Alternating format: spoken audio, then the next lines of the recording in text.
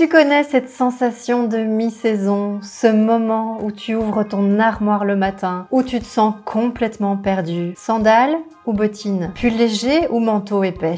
Le matin, tu grelottes si tu es sous-habillé et l'après-midi, tu étouffes si tu as trop anticipé. On n'est plus en été, mais pas tout à fait en hiver non plus, ou l'inverse, plus en hiver, mais pas encore en été. Eh bien, cet entre-deux météorologique peut être un vrai casse-tête pour s'habiller. Mais imagine un instant avoir la solution parfaite pour ne plus jamais subir ce dilemme et cet inconfort. Ce serait chouette, non? C'est exactement ce que je vais te montrer aujourd'hui, comment bien s'habiller à la mi-saison. Je vais te dévoiler en fait les 7 essentiels pour cette période vraiment délicate, des pièces qui sont magiques parce que non seulement elles élèvent ton style et subliment ta féminité avec élégance, et elles le font en plus sans vider ton portefeuille. Car ces essentiels, eh bien, ils résistent au temps et ils t'offrent des combinaisons vestimentaires irrésistibles année après année. En bref, ce sont pour moi des basiques de mi-saison qui te garantissent de te sentir bien dans ta peau et bien dans tes baskets. Et la petite cerise sur le gâteau, eh bien tu seras enfin confortable, ni trop chaud ni trop froid. Et reste bien jusqu'à la fin parce que je vais te donner tous mes conseils pour savoir comment bien les porter et comment créer ces fameuses tenues en un clin d'œil tous les matins, même si tu n'y connais absolument rien en style. Je terminerai d'ailleurs avec mes trois astuces infaillibles pour ne plus jamais te louper lorsque tu dois t'habiller en période de mi-saison. Premier essentiel de mi-saison, c'est un joli trench. Voilà une pièce vraiment incontournable que toute femme devrait avoir dans sa garde-robe. Le trench reste vraiment indémodable, stylé et en plus il convient à toutes les silhouettes, que tu sois mince, ronde, grande ou petite. Alors pour la couleur, tu peux le choisir de préférence dans un ton beige ou camel, c'est à la fois doux et très élégant.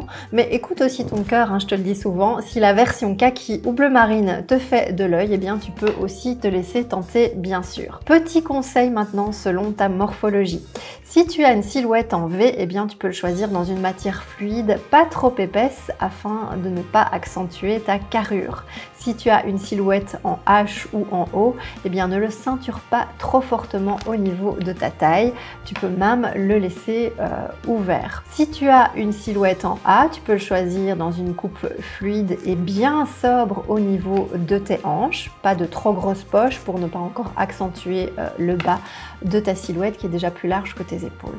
Si tu as une silhouette en X ou en Y, eh bien tu as carte blanche. Pour la coupe, choisis-le de préférence ni trop long ni trop court pour son côté qui est élégant justement. Un trench trop court, eh bien c'est plus vraiment un trench et un trench trop long peut euh, éventuellement tasser ta silhouette si tu es de petite taille. Et toujours pour la coupe, eh bien, le trench légèrement cintré reste vraiment la version la plus courante. Mais tu peux aussi aller vers une coupe plus oversize si tu aimes ça et que tu as envie de te sentir hyper à l'aise dans ce type de veste. Je te déconseille néanmoins l'oversize si tu es très fine parce que tu vas te sentir carrément noyé dedans. Et si le modèle est bien coupé, eh bien, il sera juste cintré comme il faut pour épouser ta taille et te donner une allure folle, crois-moi. Alors, pour bien l'associer, il se porte à à la fois avec des pantalons comme un jean, un chino ou un pantalon de tailleur et à la fois avec des pièces plus courtes comme une jupe, un short ou une robe. Et n'oublie pas tous ces petits détails au niveau des finitions qui feront euh, la différence, c'est-à-dire la ceinture intégrée, les boutons, le col, les revers et une jolie doublure de qualité. Deuxième essentiel de mi-saison, c'est une jolie paire d'escarpins colorés que voici. Quoi de mieux que de porter une jolie paire d'escarpins colorés pour donner du peps à tes Je remarque souvent que les femmes de ma communauté négligent carrément leurs chaussures, alors que finalement la bonne paire de chaussures peut absolument tout changer à ton allure, vraiment crois-moi. Alors tu peux opter pour un modèle à talons, hein, de préférence entre 4 et 7 cm pour ton confort, et si tu aimes des talons plus hauts et que tu supportes entre 8 et 11 cm, Bon, ben, fais-toi plaisir, bien entendu. Mais moi, je dois bien avouer qu'avec l'âge, eh bien, je garde les hauts talons seulement pour les occasions et c'est tout à fait OK pour mes petits pieds. Alors niveau couleur, du rouge, du jaune citron, du pêche orangé, du doré ou encore du nude. Toutes ces couleurs peps vont venir habiller tes pieds et donneront vraiment une touche d'originalité à absolument toute ta silhouette finalement. Tu peux même porter euh, une teinte basique comme euh, le camel, hein, on l'a vu ici, avec une petite touche imprimée comme l'imprimé léopard. Ça donne vraiment euh, du caractère à ton style tout en restant très très élégant. Eh bien, l'imprimé léopard, c'est typiquement un imprimé qui se porte par petites touches, évite bien sûr le total look qui peut vite virer euh, vulgaire. Pardon. Alors du coup, eh bien, choisis plutôt une tenue aussi sobre, hein, comme un jean et un petit pull uni, car euh, du coup, cette paire de chaussures, euh, quand elle est colorée comme ça et imprimée, elle se suffit vraiment à elle-même et ce serait dommage de ne pas lui donner toute sa place dans ta tenue. D'ailleurs, pour savoir comment bien les porter, je te conseille vivement l'article du blog sur comment bien porter les escarpins à haut talon. Lien sera juste en dessous de la vidéo comme d'habitude. Laisse-moi d'ailleurs un petit pouce bleu hein, si toi aussi euh, les escarpins colorés, eh bien ça te fait de l'œil et que tu as carrément envie d'essayer. Crois-moi, les escarpins noirs te paraîtront bientôt fort fort tristounets en comparaison à cette jolie paire de chaussures. Alors, le troisième essentiel de mi-saison, c'est un petit pull en fine maille. Alors le petit pull en fine maille, il a vraiment l'avantage, euh, je dirais, de te couvrir et de te garder au chaud si nécessaire, sans pour autant venir étouffer ton corps sous euh, trop de, chaleur. Il est vraiment léger et agréable, mais s'il est choisi dans les bonnes matières, comme par exemple le coton, euh, la viscose, le cachemire, tu, peux vraiment éviter tout ce qui est polyester et, acrylique. Du coup, ton petit pull en maille fine, eh bien, il sera parfait pour tes journées et tes soirées. Il peut en plus se porter avec pas mal de pièces différentes, comme un pantalon cigarette, un jean ou une jupe ou encore même un short. Alors niveau couleur, je te conseille du beige, de l'écru, du camel, du bleu marine si tu es plutôt euh, attiré par les couleurs basiques, mais tu peux aussi très bien aller vers des couleurs en demi-teinte comme le blush, le bordeaux, le lilas. Donc ça c'est un petit peu plus nuancé. Et puis il y a aussi les couleurs fortes comme par exemple le mauve ou le bleu peps si tu aimes ça. Le quatrième essentiel c'est un jean indigo clair. On parle souvent du jean bleu foncé brut comme étant un intemporel, ce qui est le cas, mais il y a aussi un autre modèle qui gagne vraiment à être porté, c'est le jean indigo clair. Il va vraiment te donner une petite allure vintage élégante, surtout s'il est bien associé, ça va être sympa. Tu peux opter pour un modèle droit ou slim, 7 8 e ou retroussé, à taille haute ou à taille normale. Et si tu te sens à l'aise, le taille haute est vraiment élégant parce qu'il allonge les jambes. Sinon, le taille normale est très bien aussi. Alors, je te conseille d'éviter les modèles taille basse qui ne sont pas du tout flatteurs. Le taille basse, il a vraiment tendance à faire ressortir les petits bourrelets et à provoquer euh, un effet plutôt disgracieux, et ça, euh, quelle que soit euh, ta morphologie.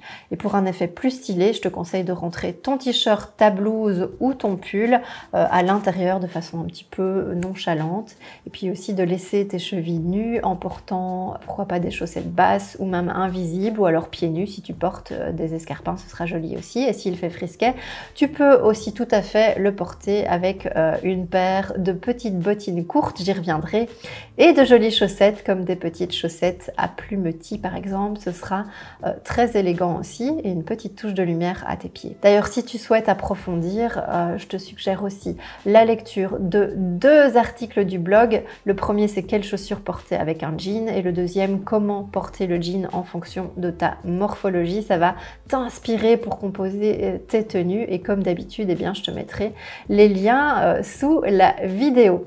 Avant de continuer dans les essentiels de mi-saison, n'hésite pas à t'abonner à la chaîne si tu as envie de te sentir de plus en plus belle et de plus en plus euh, bien habillée grâce à ce genre de vêtements féminins et élégants. Et je te parlerai aussi d'un super bonus que je t'offre à la fin de cette vidéo, donc reste bien jusqu'à la fin. Le cinquième, le cinquième oui, essentiel de mi-saison, c'est un t-shirt blanc. Alors là, c'est carrément une pièce incontournable de ta garde-robe. Le t-shirt blanc est entièrement blanc, hein, j'insiste, il va faire des merveilles sur beaucoup de tes tenues. Tu peux le porter avec tout, avec tes jeans, avec tes pantalons, avec tes leggings, avec tes jupes, avec tes shorts, avec ou sans veste, avec ou sans accessoires. Tu peux opter pour un modèle qui n'est ni trop moulant, ni trop loose, ce sera plus élégant. Et pour la coupe, eh bien, je te conseille un col rond légèrement évasé ou un col en V, toujours pour laisser vraiment respirer ton buste et exprimer ta féminité en fonction de tes envies. Hein. Pas besoin non plus d'avoir un décolleté outrancier. Je te conseille de le choisir le plus sobre possible, pas de poche, pas d'écriture ou de fantaisie, et bien sûr dans une matière de qualité en 100% coton ou en lyocell. Et alors un petit truc pour raviver le blanc des premiers jours à la main, si tu le souhaites, et eh bien tu peux le laisser tremper heures simplement dans du bicarbonate de soude ou alors mettre une cuillerée de bicarbonate de soude dans ta lessive de clair. Le blanc restera bien blanc. Le nombre de fois où mes t-shirts euh, ont viré au grisâtre avec le bicarbonate, le bicarbonate pardon, de soude, crois-moi, ça fonctionne et ça ne vire pas au gris. Alors le sixième essentiel, c'est une jolie blouse légère. Un autre basique intemporel, c'est la blouse fluide. C'est une pièce vraiment à ne pas oublier pour être stylée et féminine. Comme pour le t-shirt, tu peux la choisir la plus simple possible et un petit peu loose justement pour cet effet aérien et vaporeux. C'est très très féminin. Alors tu peux la rentrer dans ton bas en la faisant euh, blouser légèrement hein, pour un petit effet décontracté et puis aussi pour allonger tes jambes. En fait, le, fait de créer cette fameuse ligne horizontale au niveau de ta taille, eh ben, ça va venir la marquer et la structurer de façon très élégante. Et du coup, eh bien, les proportions entre le haut et le bas de ta silhouette seront bien équilibrées et à l'œil, tu vas voir, c'est beaucoup plus joli. Tu peux simplement essayer. Si tu laisses la blouse au-dessus de ton bas, eh bien, tu vas voir que l'effet, il est assez plat. Et si tu la rentres dans ton bas, tu vas voir que toute ton allure, eh ben, elle va être comme euh, transformée. C'est vraiment une question de proportion entre le haut et le bas de ton corps. Alors, si elle est boutonnée, tu peux laisser euh, le décolleté, hein, comme ici, ouvert, ou alors tu peux aussi fermer euh, les boutons jusqu'en haut et porter un collier ou un joli plastron par-dessus. C'est vrai que c'est un style, mais c'est sympa aussi si ça te semble à toi confortable. De mon côté, par exemple, j'avoue que j'évite de trop fermer euh, mes blouses parce qu'avec ma silhouette euh, en V, en fait, je suis très vite mal à l'aise. Et si ta blouse est claire, eh bien porte-la avec un soutien-gorge nude ou de couleur chair pour plus d'élégance et pour éviter euh, que l'on voit ton soutien-gorge par effet de transparence. Le septième essentiel, c'est une petite paire de low boots comme celle-ci. Les petites bottines courtes sont une de mes paires de chaussures vraiment préférées. Elles se marient avec beaucoup de tenues différentes, le jean slim, le jean 7 8 e le jean retroussé, euh, les robes courtes, les robes longues, les jupes, les leggings, les shorts. En fait, elles vraiment, elles s'enfilent hyper facilement, même quand tu manques euh, d'inspiration.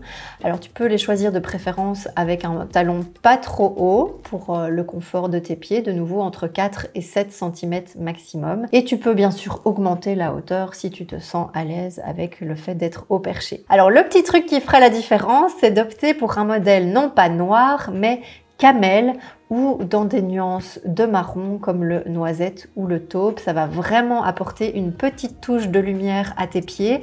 Et la couleur camel, eh bien, elle se marie facilement avec tout. À nouveau, tu peux essayer. Et du coup, tu ne dois même plus te poser de questions pour euh, associer tes chaussures à ta tenue. Et ça, franchement, ça te permet vraiment de gagner du temps. Mes clientes sont toujours étonnées euh, de découvrir combien cette petite paire de bottines peut faire des merveilles et combien ça devient facile quand tu as simplement chez toi une petite paire de low boots camel. Alors, dis-moi en commentaire, est-ce que ces basiques de mi-saison te donnent envie de les essayer? En tout cas, eh bien, n'hésite pas à te lancer si tu ne les as pas encore dans ton dressing. Ils vont vraiment te faciliter la vie au quotidien. Comme promis pour terminer, je te donne mes trois petites astuces pour toujours bien t'habiller avec ces basiques de mi-saison. La première astuce, c'est d'ajouter une petite touche en plus pour donner du peps à tes tenues. Donc n'oublie pas, tes bijoux, bien sûr.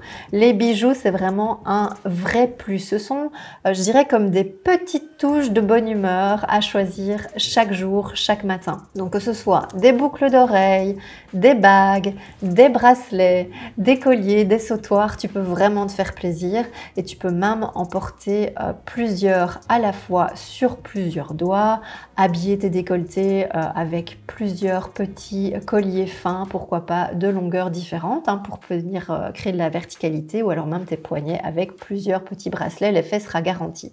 Bon, ici je te montre plusieurs bijoux à la fois, mais bien sûr, ne surcharge pas trop euh, ta tenue pour ne pas alourdir la zone proche de ton visage, par exemple. Donc si tu portes des boucles d'oreilles assez volumineuses, eh bien ne porte pas de collier et inversement, si tu portes un gros collier, ne porte pas de grosses boucles d'oreilles. La deuxième astuce, c'est de penser à superposer tes habits fait plus frais le matin et le soir. Les superpositions, elles sont toujours bien pratiques pour n'avoir ni trop chaud ni trop froid. Et pour t'aider dans cette tâche, eh bien le t-shirt, la blouse légère, le petit pull en maille, le trench euh, vont bien sûr t'aider. On en a parlé durant cette vidéo, mais il y a aussi d'autres pièces qui te permettront euh, de superposer facilement et avec plaisir, comme le perfecto, c'est vraiment une pièce géniale de caractère. La chemise en jean, c'est une pièce relaxe et élégante. Ou encore la petite veste Bombers, une autre pièce originale et sympa Alors la troisième astuce, c'est de ne jamais oublier les matières de qualité. Je ne le répéterai jamais assez, c'est une matière de qualité qui te permettra de ne pas avoir ni trop chaud ni trop froid. C'est aussi simple que ça.